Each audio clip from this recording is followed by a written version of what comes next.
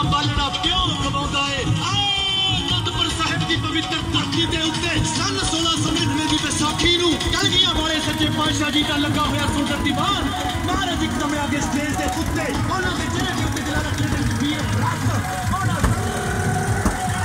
ਇੱਕ ਦੇ ਬਿਆਨ ਤੋਂ ਪਰਵਾਰ ਕੀਤੀ ਇਹ ਪੰਜ ਸਿਰਾਂ ਦੀ ਮੰਗ ਨਿਤਰੇ ਨੇ ਕੀ ਦਿਲ ਦੇ ਕੱਟ ਤੋਂ ਪੰਜ ਦਲੇਰ ਮਹਾਰਾਜ ਜੀ ਨੇ ਬਖਸ਼ੀ ਬਾਣੀ ਤੇ ਬਾਣਾ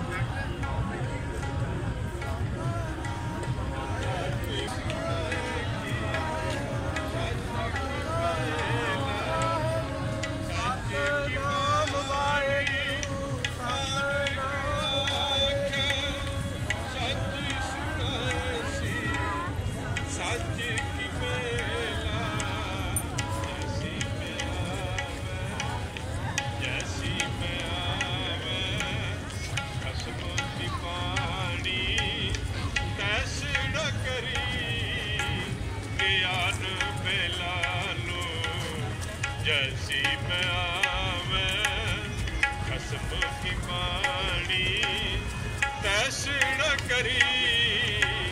ਗਿਆਨ ਮਿਲਾ ਲੋ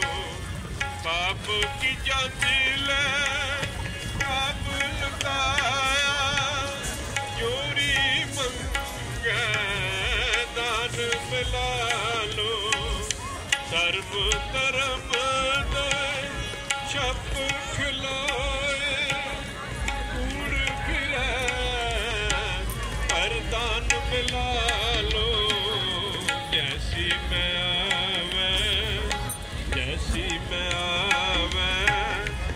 ਹਸਮ ਪਾਣੀ